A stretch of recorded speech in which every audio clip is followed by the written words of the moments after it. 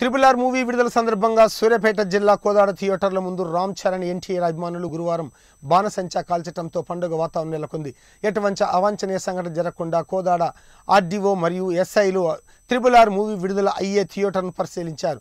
ప్రభుత్వ ఆంక్షలకు విరుద్ధంగా ఎటువంటి సంఘటనలు జరిగిన థియేటర్లను సీజ్ చేస్తామని హెచ్చరించారు. ఫ్లెక్సీలు కట్టిన అభిమానులకు టికెట్లు ఇవ్వడం లేదంటూ రామ్ చరణ్ ఎన్టీఆర్ అభిమానులు థియేటర్ ముందు ఆందోళనకు దిగటంతో థియేటర్కు తాళం వేశారు.